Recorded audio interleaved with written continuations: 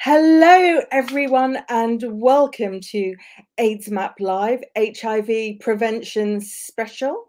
My name is Susan Cole, and I'm thrilled to have an absolutely tremendous panel of speakers um, joining us today on this important topic. I will bring um, everyone on one at a time to say hello. First of all, can we have Gus Cairns? Hello, everybody. Hello, Gus. Gus, for those of you who don't know, is one of the editors at NAM aidsmap, an HIV prevention campaigner, co chair of the Proud PrEP study, a psychotherapist, and living with HIV since 1985. Is that all correct, Gus? It is, yeah. It's wonderful to have you on and to see you virtually when I was with you in person the week before last. How did you find attending a physical conference? Um, I'd forgotten how tiring they were, um, but I'd also uh, forgotten how nice it was to meet people from uh, who you haven't seen for ages all over the place. Um, and I've uh, just in the process of writing up the panel that you were on about uh, COVID. So Excellent. Well, I hope you say very nice things about me, at least. Okay, Gus, we will see you in a moment. If next, can we have Professor Sheena McCormack? Hello, Susan. Hello, everybody. Hi, Sheena. Lovely to have you on. For those of you who don't know Sheena, she's a clinical scientist at MRC Clinical Trials Unit at UCL, who's worked on HIV vaccine, microbicides, and PrEP trials since 1994, as well as being an HIV doctor at 56 Dean Street. Where do you get the time? well, 1994 is a long time ago, Susan. I have to say that is making me feel quite old. Wonderful. And it was lovely to also see you in person Indeed. at the EACS conference. How yeah. did you find? Also, like girls, it was just so energizing to to see people again. And I actually I really like the kind of hybrid format of the conference. You know, you could join the early session in the morning at seven from your hotel room um, and then be there in person for, you know, the later sessions. But it was just great to see people. Yeah, really, really good. I enjoyed it. Wonderful. And it was brilliant being on a panel with you. So I enjoyed that very much too. fantastic. And I will ask you some questions about that later. So be ready. Uh, next, can we have Dr. Vanessa Apea?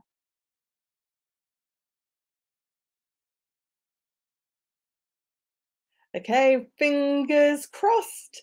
Vanessa is coming, but while she is on her way, I will let you know that she is an HIV consultant and clinical lead for sexual health at Barts Health NHS Trust and medical director of the HIV charity NAZ. Hello, Vanessa. Hi, Susan. Sorry, I dropped off. and so Vanessa is actually joining us from a hospital. Is that yes, right? I am. I'm at the Royal London, so I, I, I don't know the the the Wi-Fi doesn't seem to be doing it ourselves justice. But anyway, well, I actually thought that like you would be the one person. It's like yes, you're going to be having brilliant internet, but yeah, fingers yeah. crossed. Fingers crossed, we'll be all right. Crossed, it's all going to be fine. And finally, if Winifred Ikilai is joining us, hopefully, um, but has been having a few technical issues. But we'll we'll try and sort out Winifred's internet connection. But for those of you who don't know, Winifred is an award winning HIV prevention advocate and public health practitioner. She has spent several years coordinating both HIV and sexual and reproductive health services throughout Uganda, including PEPFAR's DREAM programming, but it looks like we are having a few issues with her connection. So fingers crossed we'll be able to get her back so she can share her important insights. But for those of you joining us, do please get your questions across because I have a very glamorous assistant waiting in the, the background. kidding me? and look, eh, here is Matthew Hodson, Executive Director of NAM and also the co chair of the EACS conference. Hello, Matthew. It's, it's, such a joy to be here and to be spending most of the evening backstage. I will be monitoring both Twitter and Facebook. So if you do have any questions for the panel, drop them in the comments underneath the Facebook post or in you know do a tweet underneath the tweet on on Twitter, and I will try and get that to the panel and make sure that they, the question is asked. Wonderful. Thank you very much. Please keep Matthew very busy with the questions. okay, wonderful. Thank you, Matthew. And if I can have on all of my guests, please. Okay, wonderful. There are four of us. Hopefully, Winifred will be joining us soon. But I thought a good way to start is discussing PrEP. So, Gus, for people who may not be familiar with PrEP, can you explain the difference between PrEP and PEP, please? Yes, well, um, PEP, post exposure prophylaxis, has been with us as, as long as we've had HIV drugs, really. I mean, it started off, you know, as a hospital measure when doctors accidentally sort of prick themselves with a needle uh, that had been exposed to HIV. Um, and initially, it was like kind of this really sort of punitive thing where you had to take HIV drugs for a month. Um, you had to take them immediately or as soon as possible after the possible exposure to HIV. Um, the problem with PEP is that it's never really been subject to a scientific trial because you can't. It's because it's by definition an, an emergency measure and you can't expose somebody to HIV to see if it works. Um, but from the early 2000s onwards, the idea of PrEP came along, which was the idea that you could take HIV drugs before a possible exposure to HIV, which is a very different thing because there is not uh, an accident. It's something you're contemplating, which was one of the reasons I think PrEP originally was, you know, controversial. Um, but then they did a lot of scientific trials, including the one me and Sheena were involved in, which proved beyond doubt that it is spectacularly um, effective in preventing HIV if you take um, um, um, uh, a couple of HIV drugs before the possible exposure to HIV. And that's the difference between PEP and PrEP. As time goes by, I think they'll draw closer to each other. Because as uh, another PrEP expert, Jean Michel Molina, was saying to me the other day, is it that much difference if you take two pills before you get exposed to HIV or if you take two pills immediately afterwards? And I think as as time goes by, the idea of HIV prevention using pills um, will tend, and the difference between PrEP and PrEP will tend to get um, less distinctive. Um, but at the moment, PrEP is the one that's all the rage and which lots and lots of people in the world are starting to take. Wonderful. Thank you very much for sharing that, Gus. And, and Sheena, um, England's PrEP impact trial, I believe the largest PrEP demonstration study ever conducted, recently released data. What do we know now about how effective PrEP actually is? So it was, uh, yeah, released at the conference that we were all at um, the week before last um, the the main results and um, the data uh, show actually really kind of confirm in many ways what we saw in Proud that you know over an 80% reduction um, in HIV um, if you compare those on the trial who were using PrEP to people who were attending the clinics and could have been part of the trial but chose not um, to take PrEP um, the reduction overall, you know, was was extremely impressive. Of course, since the time when we did Proud, and Vanessa was involved in that study too, um, the overall rate of HIV um, in the UK has has gone down, and and that's that's I think I believe that PrEP's played a very large role in that, but it's certainly not the only role. And the more frequent testing, the early treatment, these have all contributed importantly to this decline that, that we have seen uh, in, in the UK in, in, amongst gay and bisexual men uh, who have sex with other men, particularly. Um, we did manage to um, to reach others. You know, we had a target of one in ten, and we achieved one in twenty in terms of people from other groups. But it, I think that actually probably is one of the largest proportions of any other uh, demonstration project in in a, in a European setting, anyway. Okay, okay, fantastic. Thank you. And and Vanessa, why would you say prep uptake generally is lower for in women? Um, I think there are a number of reasons. Um, I think, first of all, it's um, awareness. Um, so, it just quite simply that the awareness that we have amongst men who have sex with men is simply not the same as amongst women. And there's a lot of work being um, approached to target that, but that just that isn't the case. I think also being aware of prep and taking prep you have to think that it's you're eligible for it. And i think just in the way of a lot of messaging um, about prep and also wider about sexual wellness in women um, a lot of women don't see themselves as candidates of taking prep. They don't see that they may be at risk of hiv and then therefore don't even consider prep in their kind their whole protection. So they'll think of condoms um, they'll think of um, abstinence. Um, they'll think of contraception for pregnancy, but PrEP doesn't always come into the equation. And I think also another issue is that um, there's a responsibility for clinicians as well to raise that awareness um, amongst women. And I don't think we're very good at that um, within our consultations when someone comes in for them to consider PrEP. So I think it's many different layers to it. And, and what do you think that we can do to address that?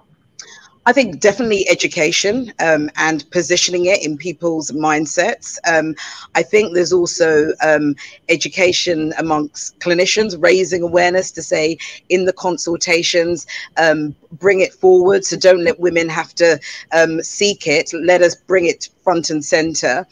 I think also um, for me, there's a, a, bigger context, and particularly in um, racially minoritized women, about um, talking about sex, talking about relationships, um, and having a wider conversation about it. And I think there's a lot of stigma about um, sex. There's a lot of stigma about HIV. There's a lot of stigma about um, PrEP. And so I think that there needs to be a lot of work in terms of tackling that stigma and education and repositioning it as part of your agency and something really positive to do is really important.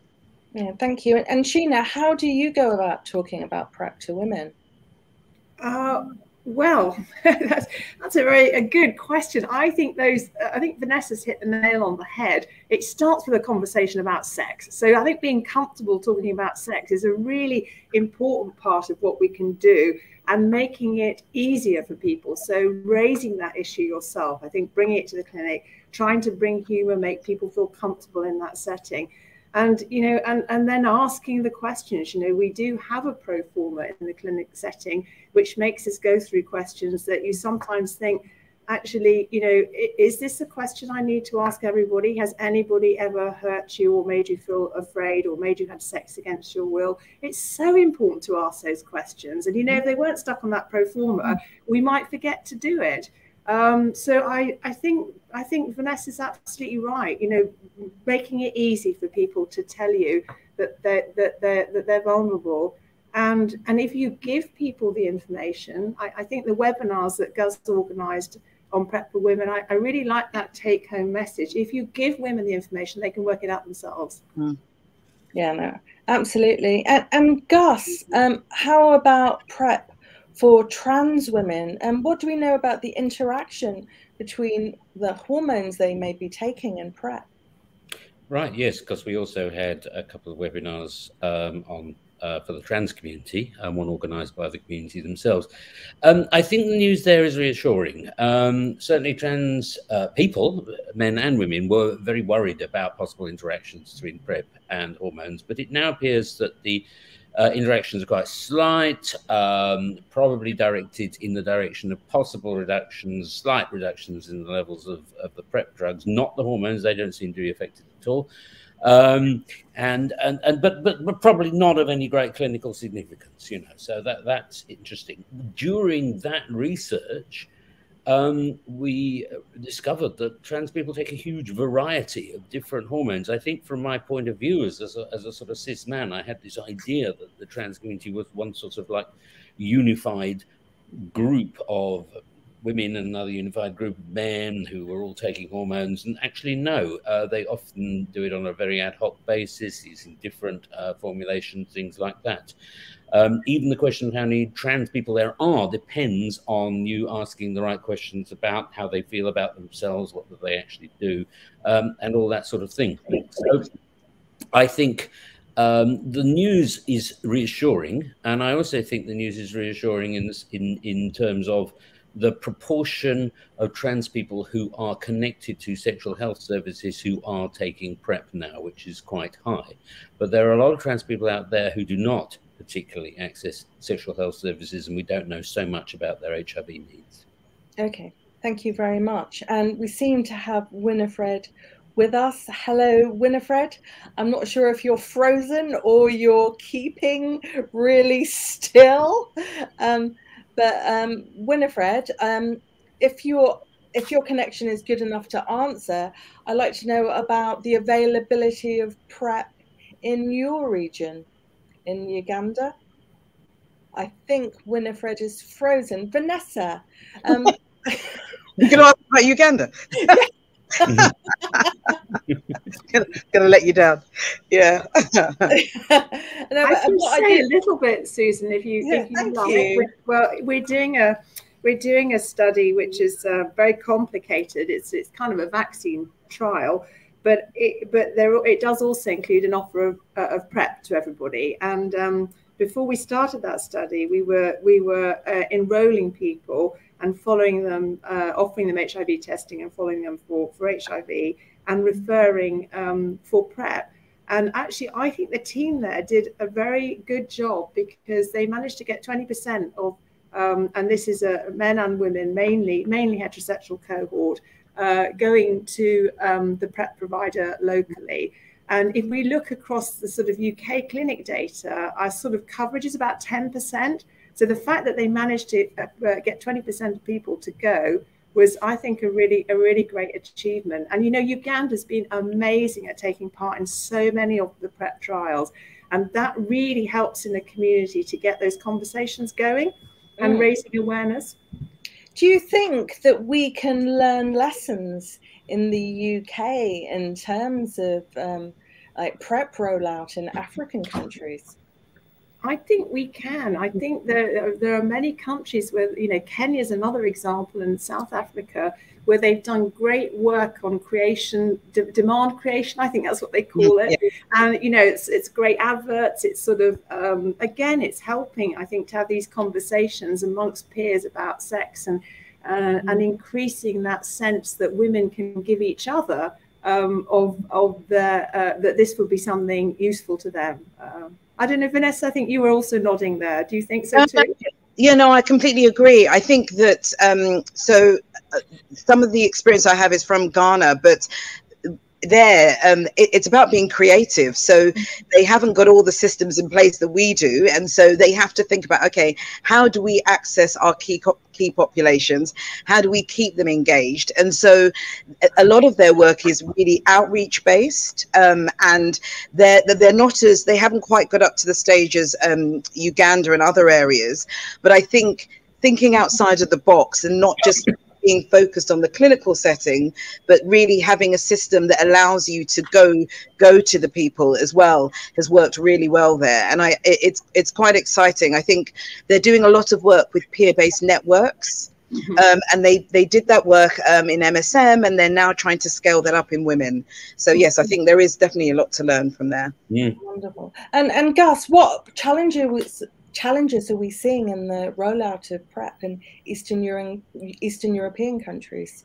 Yeah, um, I'm really glad you asked me that, um, which I, uh, and because I was talking to um, an HIV prevention conference in the very first HIV prevention conference organized by the community in Istanbul um, on Sunday, uh, which is fantastic news. Um, uh, they haven't got any PrEP, you know, a very conservative country, all that sort of thing. And during that, I did some research, and there's been an absolute explosion of PrEP provision in Africa in the last year, even despite COVID. Uh, and there are countries now, um, at least uh, providing some PrEP um, that never did before, including places like Democratic Republic of Congo. Um, and uh, one of the largest um, PrEP uh, and southern um, countries to have suddenly started um, rolling out a lot of PrEP is Zambia. They're doing really well. Um, and so, yes, I think we can learn uh, lessons from Africa. And I think PrEP is particularly conducive to um, um, de- demedicalization in the sense of you still have to test people for HIV, you still have to test people for side effects, but in terms of getting it to people. Mm. You know, you don't have to go to some big clinic and get quizzed by a nurse. There are ways of doing it which are much more sort of consumer friendly and which rely much more on uh, information going between uh, PrEP users and people interested in PrEP use. Uh, and I so, in terms of Eastern Europe, and I nearly forgot that, um, we're starting to see rollout in Ukraine. Um, uh, which is certainly kind of starting to give PrEP in um, useful numbers to its MSM population. They'd be the first to admit that they've only just started thinking about um, injecting drug users and women. Um, in Poland, where there's a network of PrEP clinics that managed to keep going even despite the COVID situation and despite sort of the political situation there. Very small numbers as yet in other countries, Georgia, a few, uh, Moldova, a few. Um, Kazakhstan recently uh, announced it as a licensed PrEP, but in most other countries, it's very small pilot studies, or uh, partially, I think, due to stigma, partially due to caution by the politicians and healthcare providers who still think it's going to be frightfully expensive and difficult to arrange when it doesn't have to be. But we're starting to see it creep into Eastern Europe, which is really good news.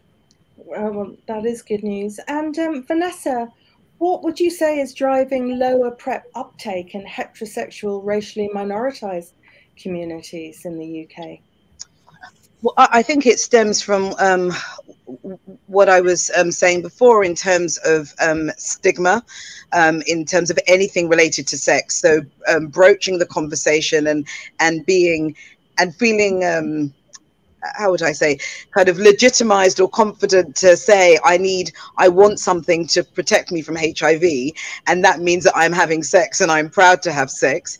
Um, mm. That conversation, for a number of reasons in many communities, is not something that many people feel comfortable with. Um, and the work that, um, we've been doing with racially minoritized women in East London, um, in, in women, um, it, it's a, a, lot of cultural issues that we can, we all we, we can all um, relate to in terms of it, it, being dependent on how you grew up, um, uh, what experiences you had. Um, you know, some women describe having difficulties in their relationships and experiencing um, violence, but they're not having the confidence, the agency to um, take PrEP or even go out to go and seek PrEP. So there's a, a number of layers to it. Um, and, and I think one of the other key areas that has come out, particularly in um, racially minoritized women, is mm-hmm. um, the fear factor.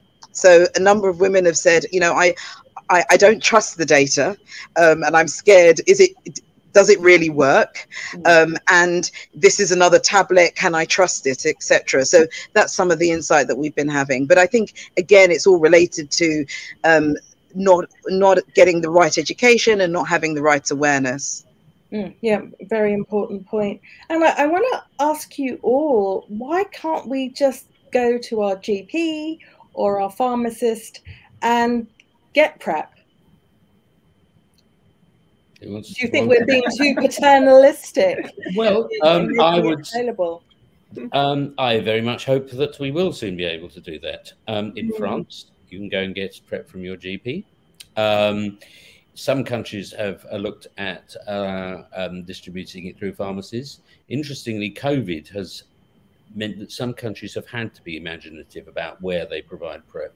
Um, I think there is still a sort of protectiveness about it, um, and that uh, you know there is still this sort of feeling both by clinicians and also by some prep seekers that they want reassurance. But I, I think eventually it will get provided in a variety of different settings. What do you think, uh, Sheena and um, Vanessa? Yeah, no, I, I, I think you're you're right, Gus. I think more in maybe some you know countries than than others. I mean, I am struck by the fact there's still quite a few European countries who don't have any nurse-led prep prescribing at all. Um, you know, which is something yeah. we've we've had here for, for a long time, and I think that's a, one step in the direction, the right direction. GPs, you know, it is a GP service in Australia, really, for for, mm. for prep. Um, and I think I believe that's the case in Israel. So I think there are other countries where it's predominantly, and that's great because then you've got a very broad range of practitioners who are familiar with PrEP and know to ask people about it. But I, I agree with Susan. I think pharmacy would be would would also be another great um, great place for you know for the outlets, uh, at least for repeat prescriptions, if not um, mm. if not the first one. Yeah. Yeah, no, I, I, agree. I think it um, it, also relies here on our commissioning and having more creative commissioning and giving us the flexibility to um, roll that out. But one issue, just to say, is it's, it's also finding um, the right GP partners and the right um, uh, pharmacy partners to roll it out. And not every partner will feel confident to do that, mm. but there are, there are many that will. And so I, I definitely think it's something that should be coming soon. Yeah, absolutely. And Winifred, welcome back lovely to have you. Are you, can, are you hearing me there, Winifred? Yes, I can. Okay, wonderful. Um, Winifred, what's been the impact of COVID 19 on PrEP rollout in the regions you work in? Um, first of all, I want to apologize for the for the network. It was so bad here. It's 9 p.m. and it's a bit dark here. I don't know if you're able to see me right now. Can you see me well? Yeah, we can. okay. So, um, um, what has been the impact of, of COVID-19 on PrEP access? So, um, one of the, the main issues that happened was the inaccessibility to the to the PrEP sites or to the health facilities that offer uh, PrEP services uh, to the young women and girls. Because of the lockdown, it was so hard to travel because the president had to, to issue some guidelines, and, and some of them restricted uh, use of public transport. So uh, quite a number of, of young women are not able to access uh, PrEP services because of such a challenge. But also due to due to COVID-19, there was limited information and awareness in, regarding access to PrEP. So so many young women were not able to to to get uh, key facts regarding PrEP, but also issues of adherence to PrEP were really eminent. So COVID-19 brought a huge gap when it came to access to HIV prevention in my country. Yeah, wonderful. Thank you for sharing that, Winifred. And have we seen an impact of COVID 19 on HIV prevention in the UK, um, Vanessa and Sheena? Um, I mean, I I, I, I can um, start. I, I think that there's there was a, um, a definite um, initial impact, but I think it, essentially, as we've seen through COVID, so many services just restructured it to reframe around all the limitations around um, COVID. So, in terms of changing the face to face to um, virtual consultations, um, sending out packs if it were avail- if, if it were possible, um, re- restaging the timing of bloods so that um, it, it, gave that flexibility. So I, I, I, definitely think for some parts of the country, um, there there has been and probably continues to be an impact. But I think for for many services, and particularly in London, I think we were quite resilient with it and reshaped services swiftly to support. I don't know how you feel, Sheena. Mm, no, I think we were actually very lucky that already there was access to self-sampling and, and remote mechanisms for for testing and and that really made a big difference. But of course covid-19 also had a big you know big influence on people's ability to meet. Um, never mind about having sex. So you know that was a that was certainly a big problem uh, i think. Um, but uh, but yeah no i think you're absolutely right. We were lucky that we had already those services for online access to mm. testing. Um, And, mm. and but I, I don't doubt it was difficult in, in some parts of the country for sure mm. for people to get into a clinic when they had symptoms, and, and that I, I think was must have been very hard. Yeah, absolutely. And and um, an area of HIV prevention people are always asking me about is when are we going to have injectable PrEP? Sheena, can you tell us what that is and when we can expect to have it in England? So the the, the first um, the first uh, injectable PrEP that, that's been through the clinical trials is a long-acting injection of a drug called cabotegravir which uh, which uh, is an integrase inhibitor. For those of you familiar with how these drugs work and the different classes, it's an injection that needs to be given every two months, and it did spectacularly in two trials. Um, when it was compared to um, daily PrEP, uh, to oral PrEP. Um, and I think that is because they, they deliberately tried to recruit from populations who were struggling to take daily PrEP on a regular basis. Um, but in both of these studies, one was conducted in, in gay and other men who have sex with men and transgender women, and the other one in, in women, it was shown to be better than uh, daily Truvada in those populations. So that's made it super exciting. Um, and um, WHO and in, indeed the, the, regulators in the US, they've agreed to fast track the approval. So I think the first review and potentially approval will come out in March or April of next year from, from the US regulators. And then on the back of that, WHO will follow swiftly with their recommendations. Now, Susan, your question was when we have it in England, and that I think is a long way down the pipe. um, and it's this old story about, you know, what does the drug cost? And um, the drug companies have to recoup their profits, and it remains on patent for the wealthier countries for a longer time. And um, that was something actually I did want to ask Gus about with respect to Eastern Europe and, and mm-hmm. countries that, you know, are sort of high income but actually struggling a bit financially, where where drugs, you know, can be very expensive. I think that that can be a challenge, I think, in, in those settings. Um, yeah. But yeah, simple, short. Sorry, I meant to be answering short, and I think it's several years, several years down the down the the, the, the, the pipeline. Right. And and what what do you think, Gus, in terms of Eastern Europe? Um, well, I think it, I, I, mean the patenting issue is really important. Um, interestingly, even in terms of drugs that we are now used to um, having as generics for PrEP in Russia, for instance, Truvada is still on patent. Mm -hmm. There is extraordinary, uh, and this isn't to do with patents. There is extraordinary diversity in Europe, Western and Eastern, uh, for the amount of money that certain countries pay for PrEP. Some countries pay 10 times as much as other countries. So there's no sort of unification there, and it's all shrouded in secrecy and government negotiations with companies. Um, I think the um, the injections, uh, in, uh, injectable PrEP is a very exciting idea, um, but it's not just about the cost of the drug. There was a very interesting um, presentation at EACS, which I think we've just put up on AIDSmap from uh, we already have the injectables now licensed as HIV treatment, but Canada is just about the first country in the world to actually start giving it to patients. And we had a very interesting talk from the doctor who's doing this. And it's not just about costs, it's also about clinical capacity, about where you do it. Very interestingly, um, uh, they've signed up with a sort of access scheme, which might enable people to get the uh, regular injections they need, which is every two months in the case of treatment at home or at pharmacies, yes, um, or at various other places, uh, in, uh, including sort of, you know, um, infusion suites at GPs and things like that. Um, so I think it will also throw yet another challenge to restructuring the healthcare um, uh, deliver, delivery industry in order to allow injections to be more widely used. Um, they will come um, because the the the as Sheena said, the, um, the trial results were spectacular. 90% reduction in women over and above oral PrEP, which is extraordinary. Um, but it will take some time yet.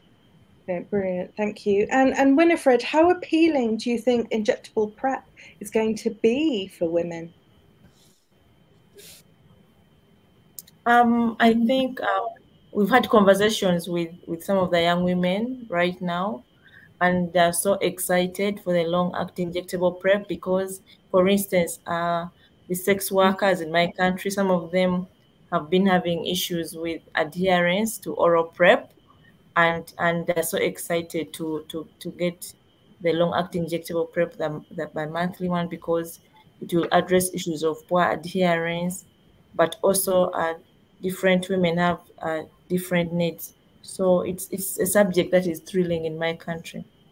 Yeah, brilliant. And and that was a question from the audience, and another question from the audience that I would like to pose to you, Sheena, is um, does PrEP mean that there's no need for an HIV vaccine now?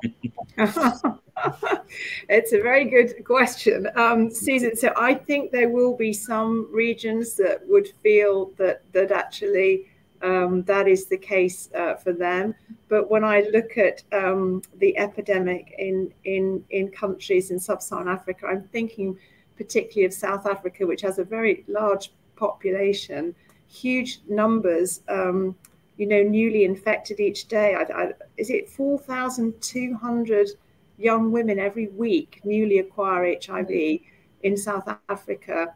And it's really frightening that sort of number building up week on week on week in terms of how you cope in a treatment program. These are, are young people and they will be on needing treatment for the rest of their lives. And in that setting, I, I think something something more like a vaccine is really needed to, to break that that cycle. But I, I, don't think. Oh, where are we? With yeah, I know we were in a session. I know we had that session about yeah. HIV yeah. vaccines. Where where are we at with that?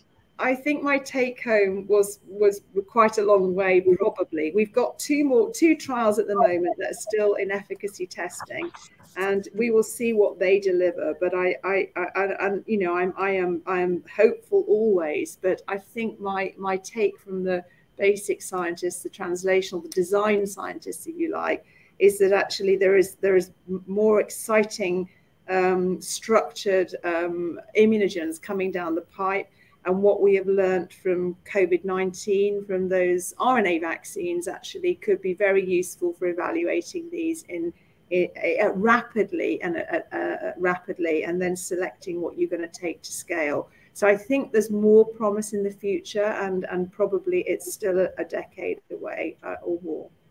Right, thank you. And are there any other exciting HIV prevention tools in the pipeline, Sheena, that your well we, we've got the broadly neutralizing antibodies. Um, that's uh, that those have been in trial. As a kind of proof of principle of those.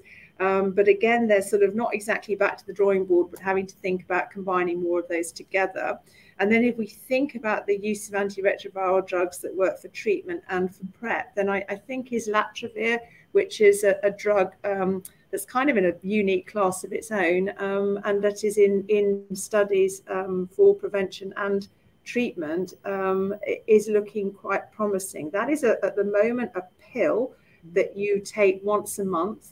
Um, and a little bit like the long-acting injectables, you know, the, the need, you know, the ability to be more discreet about taking that sort of prep is is likely to appeal, I think, to you know to, to people. And that could be formulated as an implant, a little bit like the contraceptive implants. Uh, again, something that young people can be very attracted to because it's in and they don't have to think about it. Um, but uh, yeah, I think there is there's definitely choice coming down the pipeline, which we fantastic. Uh, choice is incredibly important, particularly for women. Winifred, how important do you think the dapivirine ring is going to be for women?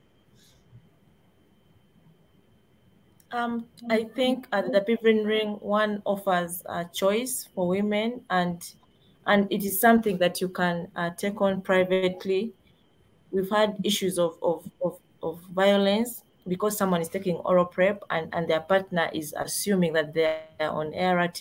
So with the vaginal ring, the, the, the dapivirine vaginal ring, it gives you the power to use it. You are confident to use it. And unlike other products, which have been uh, gendered, like the, the male condoms. The dapivirine ring is, is owned by the adolescent girls and young women. So it is a product that we are looking forward to here in Uganda, and we've been advocating uh, to ensure that the Ministry of Health um, accelerates its introduction in the market. So the dapivirine gives us the power and the confidence. It's owned by us, the young women. Wonderful, thank you. And, and Gus, do you anticipate any challenges in making these new technologies more widely available? Um, well, yes, uh, there will be cost, um, particularly with PrEP. The only reason that we've managed to distribute it so widely, and it's not widely enough as yet, is because uh, we now have quite cheap generic drugs. So there will have to be a lot of negotiations um, with companies and uh, governments in order to uh, make it possible to introduce it at scale. Um, and that's not just, as I say, for the drugs, it's about sort of um, developing new services to, to, to make them possible. But I am excited, probably more than I am about the injectables, about um, the long lasting pills. Um, there's another drug, lenacapavir, which is under development at the moment, which could be administered as a six monthly um, subcutaneous injection, a little jab, you know, just here, not not some great big injection, um, which you've got at the moment. Um, great thing about implants is they can be removed again um, if you decide you no longer need protection or get side effects. But I think once a month pill is the is is the the nearest exciting development um, because, as Sheena says, uh, or was it Vanessa? I can't remember. Sorry. Um, you could go along to your clinic or to a pharmacy or um, a GP or somewhere like that, or just a community centre um, once a month pop this one pill and you're protected. Uh, and that would be extraordinary. Um, and I think uh, I mentioned specifically community centres because one of the things, one of the take homes I got from EACS is that community organisations were absolutely key in keeping uh, the supply of HIV treatment going during the COVID epidemic. And I think they could play a great role, an increasingly important role in HIV prevention too. One of the reasons PrEP is expanding in Ukraine is that there is a kind of partnership between the medical organizations and the NGOs, the non governmental organizations, the help organizations, and they are doing the assessment for PrEP uh, in a lot of cases, um, where previously it would have been done by uh, doctors, uh, and that's a real step forward. Yeah, wonderful. Thank you, Gus. And got a question from the audience. Uh, I'm going to pose initially to Vanessa. Um, women sometimes find it difficult to take PrEP because people ask them questions about what it is and can judge them harshly. What would you recommend to a woman who has this concern? So, firstly, I would say that um, the perception of what a sexual health clinic and what happens in in in clinics, um, it, it's important to know that in many most clinics, um, we are focused on being non-judgmental welcoming. It's a safe space to be open and honest about sex to be open and honest about what you're experiencing.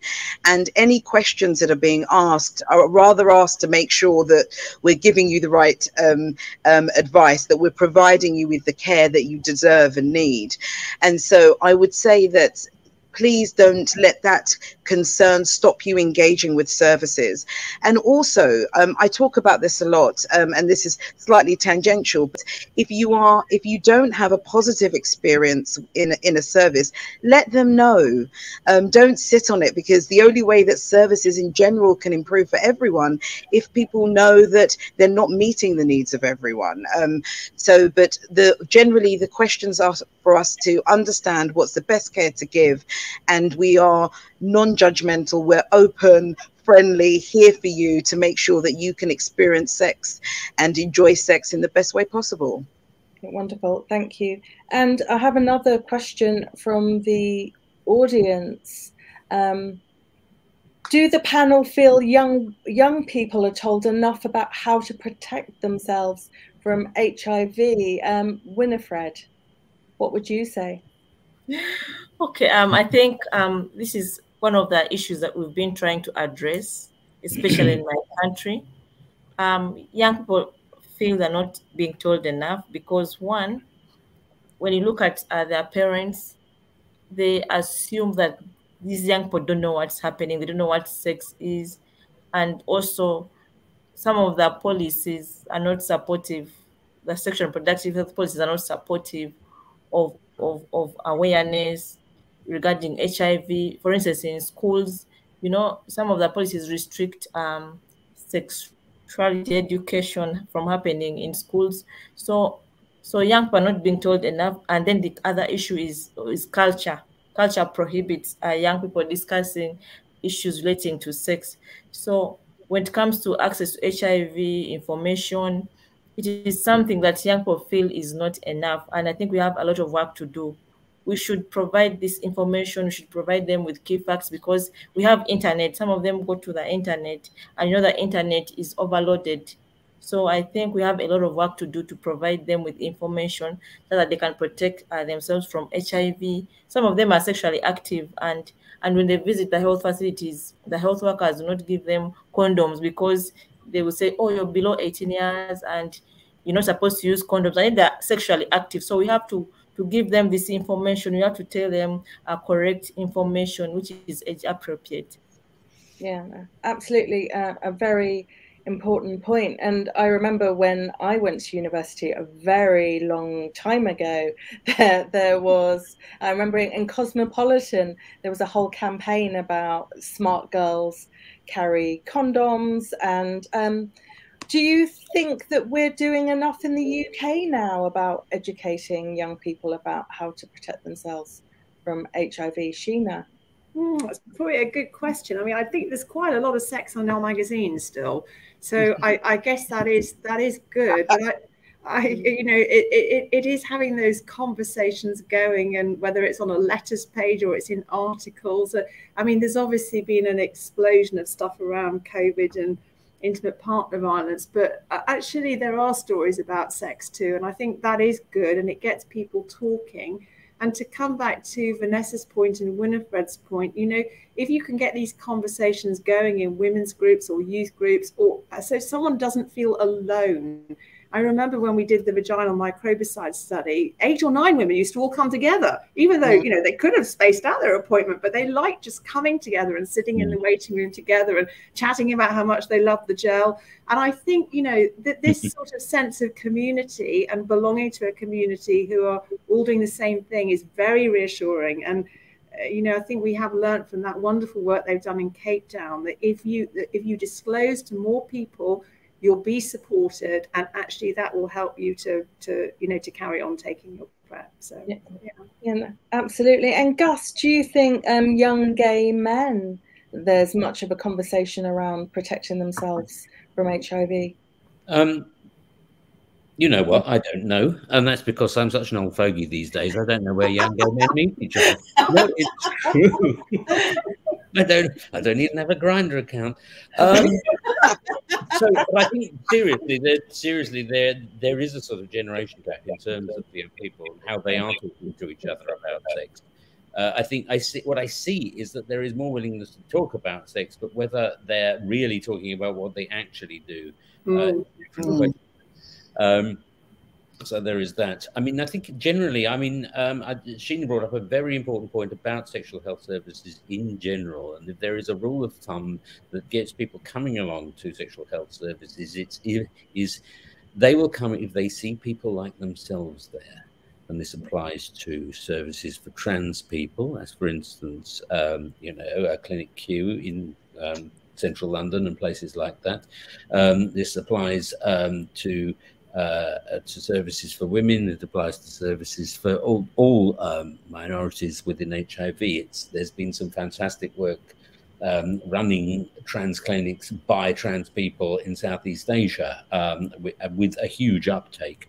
Um, so I think what you need, you need um, friendly people who uh, who def- not just who are friendly doctors. You need friendly people who actually appear to belong to your own community there as well, mm-hmm. even if it's just about having them there as volunteers. But you know, if you if they're employees of the clinic and are part of it's what what's running it, even better. Mm-hmm. And I think mm-hmm. those those are, you know, if you see people like yourself, you will be feel much more reassured. Mm-hmm. And is that what you're seeing in clinics, Vanessa? Um, in terms of how people, young people, talk about sex, yeah. um, yes, I, I, think um, I, I, I don't think young people do know enough about protecting against HIV or um, uh, any other STI. I think that um, they there's a lot of peer-based um, interactions and learning, like most people.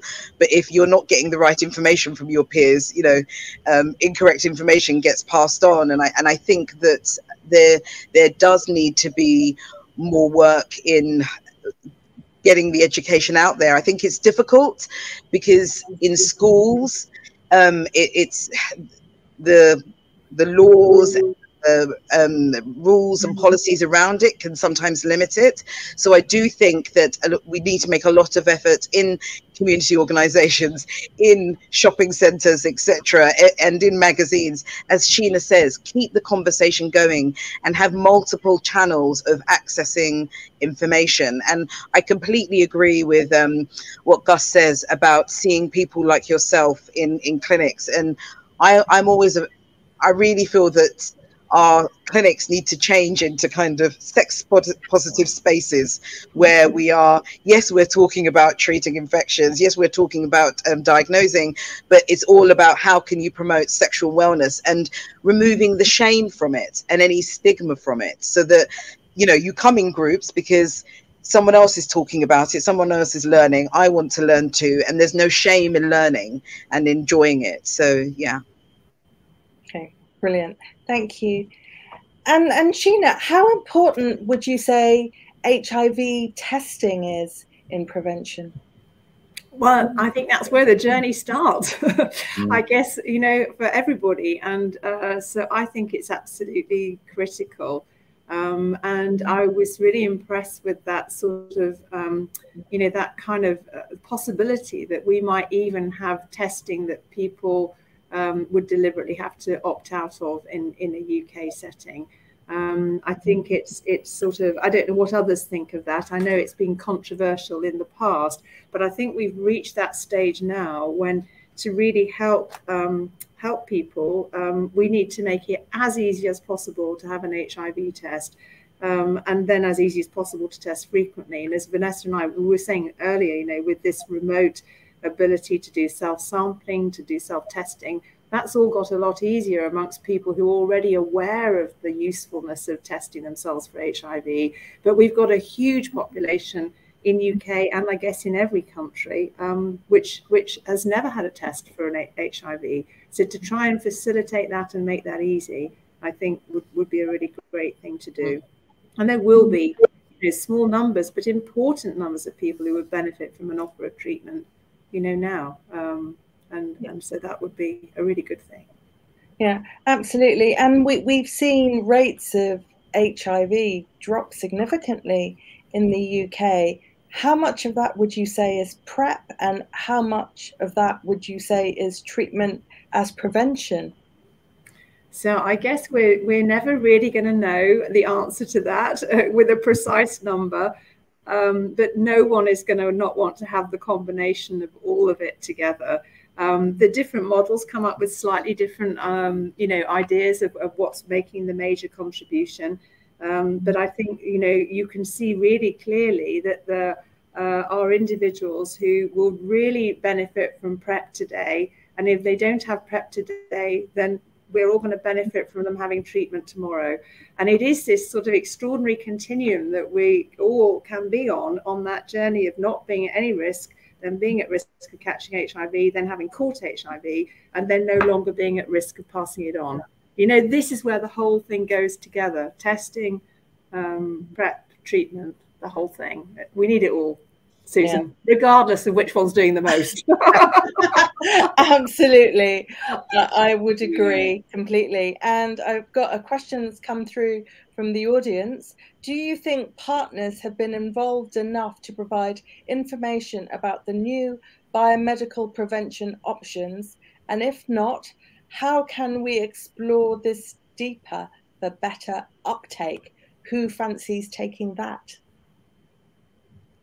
Um, I, can, I can talk a little bit about um, studies in gay men. Um, Australia, that's had a probably the biggest, earliest PrEP program apart from the states. They did a couple of studies in gay men about. Um, there was one that was about HIV positive uh, men talking to their partners about U equals U. Um, and it took the negative partners quite, and we're talking about settled couples here, you know, we're talking about uh, long term couples. It took them quite a bit of time before they really sort of kind of trusted that message and, and took it on board. But I think, uh, I think partner discussions are really important. Um, I've had experiences myself of kind of, you know, talking about uh, prevention ideas um, to partners, um, including, you know, somebody I knew who was a doctor, though not I should say working in sexual health, for whom PrEP was a completely new idea, um, and now talks about it a lot with his colleagues. So that does, I think it's, a, I think it's important. It's again the same sort of example as those discussions amongst young people. Mm, absolutely. I mean, I'm conscious we've only got five more minutes, but got uh, another brilliant question that's come through. Is PrEP still necessary when we get to the point when most people are undetectable? Who fancies that question? Well, I can say a little bit about this because it's partly the same thing about what, what's due to PrEP and what's due to, to treatment as prevention. There are a couple of studies. Um, there's one from Scotland, of all places, but not all places, because Scotland has been really successful in rolling out antiretroviral therapy, and they already saw their HIV incidence fall because of that. But they look, it looks as if there's been an additional fall after they started rolling out PrEP as well. So there's some modelling that suggests that they both have a part to play. And I think there's more Public Health England or whatever they're called these days. They've changed their name. Are doing some modelling, which uh, I expect to see presented next year. What do you think, Vanessa? so I think the key word here is most, um, and that's the key thing. That yes, there are many people that are undetectable, but the there is there are a significant body of people that aren't, um, and it's as I think exactly as Sheena says, is that it's not just about it's not prep it's not testing it's all together. Every every person's life is dynamic risk is dynamic. Um, and the I, and I also think that you know it's great the advances that we've made in HIV, but they're not equal across all populations, and uptake of PrEP is not equal across all populations, and so that's what we need to focus on to making sure that we've got it, it's it's not most, it's everyone is undetectable, everyone who's living with HIV is diagnosed, and everyone is aware of PrEP and has access to PrEP. Yeah, absolutely. And and Winifred, a, a, question over to you. Do you think condoms are still significant? Yes, condoms are still significant because, again, we are looking at the combination prevention approach. Um, some people are not comfortable with with taking daily oral prep, and then we still have um, some people are not adhering to their treatment, and then we have some people are not who are completely not using either. So we need to have um, a range of products targeting different categories of people and based on need. So we still need condoms, but also uh, condoms offer dual protection, protection against HIV um, and other STIs, but also um, unwanted pregnancies. So we cannot do away with the, with condoms. That's my thinking. Absolutely, very good point. And we've only got two more minutes left. So, one quick fire question to you all. What are you most excited about in terms of new um, prevention options coming either in the short term or the long term? Starting with you, Gus.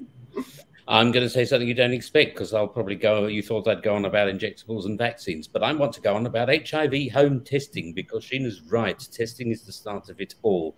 And there's a great Polish doctor, Miłosz Parczewski, who said at EACS, look, we managed to roll out home testing for COVID in three months. We've had home testing for HIV for 10 years and we still haven't got it. So I would like to see a lot more home testing and also testing in um, non medicalized settings because I think that's how you get more people testing for HIV. Wonderful. Thank you. Sheena. Yeah, I think Gus is absolutely right there. But if I was looking in the PrEP space, I do think it is the long acting things that can be mm. taken discreetly, whether that is a, a an implant, a pill, or a you know, or, or a diaphragm, I guess, a, a ring, or a, um, a long-acting injectable. I think that, that we there's clearly been a gap. The trials have shown that, and that will be great to fill that gap. Wonderful, thank you. Um, Winifred. Um, I think everything is exciting for me. Uh, the, the long-acting injectable PrEP and ART the vaginal ring and then the dual pill. I, just like HIV is revolving, and we need to also see our, our research uh, revolving because we have new technologies. So for me, it's exciting. The future is bright. I also look forward to the to the vaccine, the HIV vaccine, and eventually a cure. So I'm so excited about everything. Wonderful. And finally, Vanessa, what does that leave for you? I know exactly, but I, I'm I'm I'm looking forward to all of that, and also the way that we deliver it and get it out there, and being mm. creative, and not just sticking to the status quo. So that's what I would say. The musical condom. Yeah. Wonderful. Well, we are now out of time. Thank you all so much for taking part in this conversation. It's been uh, brilliant, so much to think about. Um, thank you for to Matthew behind the scenes taking questions. Thank you to all of the audience who have joined us today a huge thank you to Disruptive Live for doing your technical wizardry, making this event possible. And for more information, do please check out the aidsmap website. Thanks very much. Bye bye.